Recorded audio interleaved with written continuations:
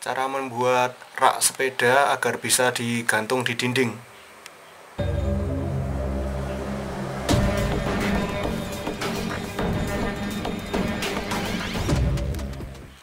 Nah, ini awalnya saya menemukan plat bekas tak terpakai seperti ini, teman-teman. Akan kita coba untuk membuat rak sepeda. Kita potong bagian tengah ini. Menggunakan gerinda potong. Kita potong bagian tengah yang ukuran lebarnya nanti sekitar 4,5 cm jika teman-teman sudah mempunyai bahan plat dengan lebar ukuran 4,5 cm bisa dipotong seperti ini. Saya cowok juga ini nanti sebagai kuncian di pedalnya. Lalu akan kita ukur sesuai dengan bentuk pedalnya. Di sini tidak saya sertakan ukurannya karena ukuran pedal masing-masing sepeda itu berbeda ya teman-teman. Jadi kalau teman-teman mau membuat bisa menyesuaikan pedal masing-masing.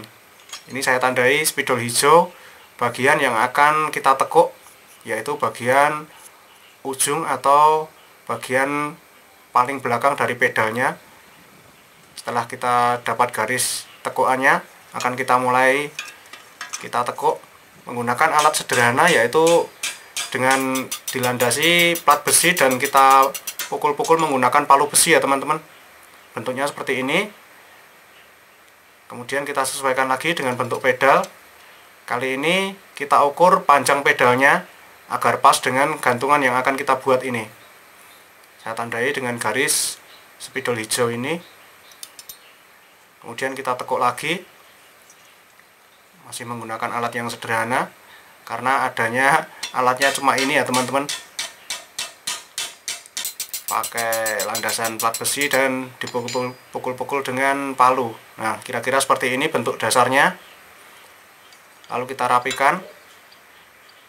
Kita buat pola dari bentuk gantungan ini menggunakan spidol ini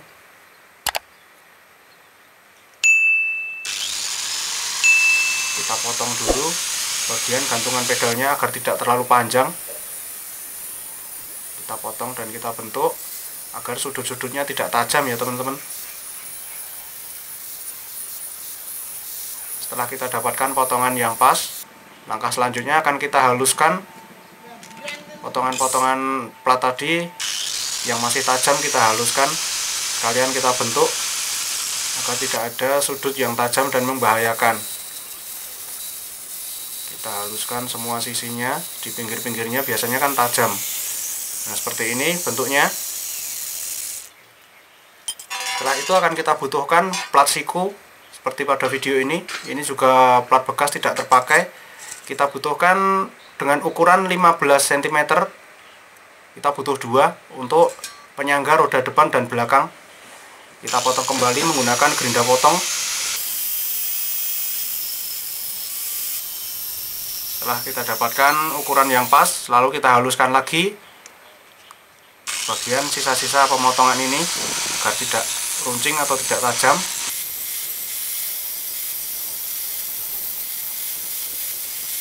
Langkah selanjutnya akan kita lubangi untuk menempatkan baut nanti pada saat ditempelkan di tembok ya teman-teman. Kita lubangi dengan ukuran lubang yang saya gunakan ini 8 mili lubangnya ini 8 mm setelah kita lubangi hasilnya seperti ini. Ini penyangga roda depan dan belakang.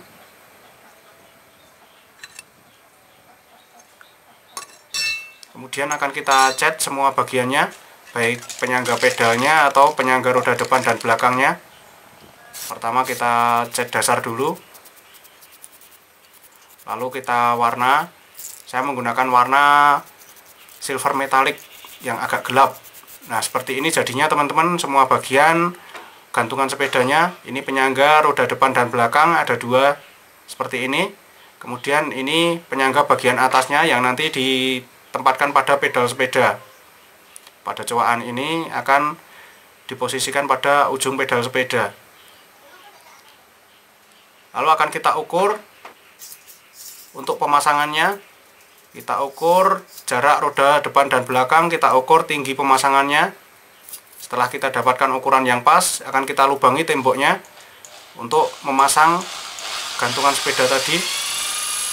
Kita lubangi agar pas dipasang baut dinabolt dengan ukuran 8 mm saya menggunakan baut dinabolt agar gantungan sepeda ini menempel di tembok lebih kuat setelah itu kita pasang satu persatu.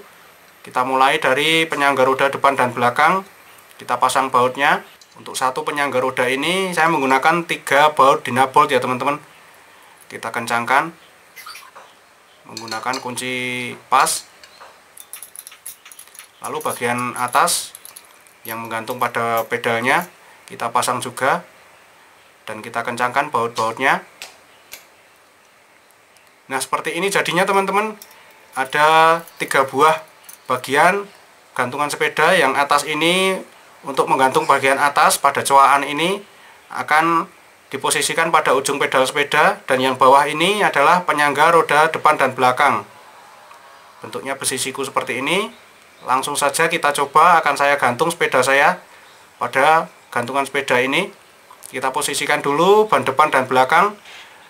Setelah pas kita gantung pedalnya dengan cara seperti ini seperti pada video berikut ini.